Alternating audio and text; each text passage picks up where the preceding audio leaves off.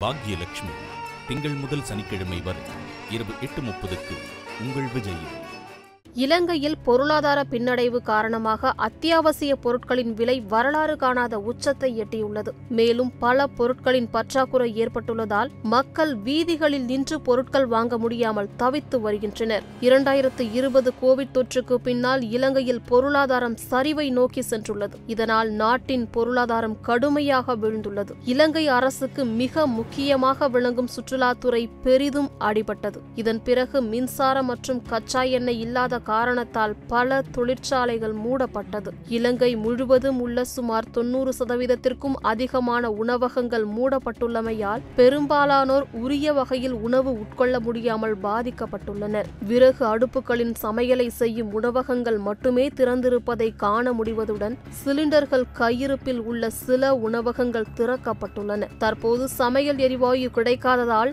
நாடு முழுவதும் உள்ள அனைத்து உணவகங்களையும் மூட வேண்டிய நிலைமை ஏற்படும் என என அகில இலங்கை சிற்றுண்டி சாலை உரிமையாளர்கள் சங்கத்தின் தலைவர் அசைல சம்பத் தெரிவித்தார். அத்துடன் சிறு தொழிலாக வீடுகளிலிருந்து உணவு வகைகளை செய்து வரும் தொழிலாளர்கள் தாங்கள் நேரடியாக பாதிக்கப்பட்டுள்ளனர். சமையல் எரிவாயு விநியோகத்தை லிட்ரோ மற்றும் லாஃப் ஆகிய நிறுவனங்கள் பாதியிலேயே நிறுத்தியதால் உணவகங்கள் மூடப்பட்டுள்ளன. இலங்கைக்கு கொண்டு வரப்பட்டுள்ள எரிவாயுவிற்கான பணம் செலுத்தாததால் தான் எரிவாயு கொண்டு வந்த கப்பல்கள் இலங்கை கடலில் நங்கூரமிட்டுள்ளன. இந்த நிலையில் எரிவாயு கப்பல்களுக்கான பணத்தை செலுத்தியுள்ளதாக குடியரசுத் தலைவர் நேற்றிரவு அறிவித்தார். இதன்படி இன்று முதல் எரிவாயு வழக்கம் போல் விநியோகம் செய்யப்படும் என கூறப்பட்டது. அதே நேரம் நாடு முழுவதும் உள்ள பெட்ரோல் பங்கில் இன்றும் வாகனங்கள் வரிசையில் தரித்து நிற்பதை காண முடிகிறது. வாகனங்கள் வரிசையில் நிற்பது போலவே மறுபுறத்தில் மக்கள் பாத்திரத்தையும் பாட்டில்களையும் கையில் ஏந்தியவாறு வரிசையில் நின்று கொண்டிருக்கின்றனர். அதேபோல இலங்கை பொருளாதார நெருக்கடி காரணமாக மின்சாரமும் துண்டிக்கப்பட்டுள்ளது.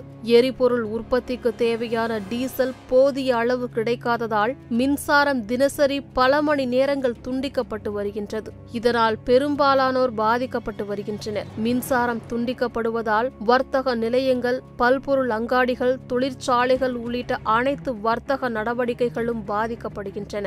மின்சாரம் துண்டிக்கப்படுகின்ற சந்தர்ப்பங்களில் சில நிறுவனங்கள் மட்டும் ஜெனரேட்டர்களை கொண்டு மின்சாரத்தை பெற்றுக்கொள்வது வழக்கமாக இருக்கும் நிலையில் நாட்டில் நிலவும் டீசலுக்கான தட்டுப்பாடு காரணமாக ஜெனரேட்டர்களை இயக்க முடியாத நிலை ஏற்பட்டுள்ளது. இதனால் தொழில் நிறுவனங்களும் பாதிக்கப்பட்டு வருகின்றன. இரண்டாயிரத்து இருபத்தி ஓராம் ஆண்டு மார்ச் மாதம் பொருட்களின் விலை பட்டியலை ஒப்பிடும்போது நூற்று பதினைந்து ரூபாயாக காணப்பட்ட ஒரு கிலோகிராம் சம்பா அரிசியின் விலை தற்போது நூற்று தொன்னூறு முதல் இருநூற்று பத்து ரூபாய் வரை அதிகரித்துள்ளது. கடந்த ஆண்டு மார்ச் மாதத்தில் தொன்னூற்று மூன்று ரூபாயாக காணப்பட்ட சிவப்பு அரிசியின் விலை தற்போது நூற்று எழுபத்து ஐந்து முதல் இருநூறு ரூபாய் வரை விற்பனை செய்யப்பட்டு வருகின்றது. இரண்டாயிரத்து இருபத்தி ஓராம் ஆண்டு மார்ச் மாதம் தொன்னூற்று ஒரு ரூபாய்க்கு விற்பனை செய்யப்பட்ட ஒரு கிலோகிராம் கோதுமை மாவு இன்று நூற்று எழுபது ரூபாய் முதல் இருநூற்று இருபது ரூபாய் வரை சந்தையில் விற்பனை செய்யப்பட்டு வருகிறது. இந்த அவல நிலையை போக்க கோரி மக்கள்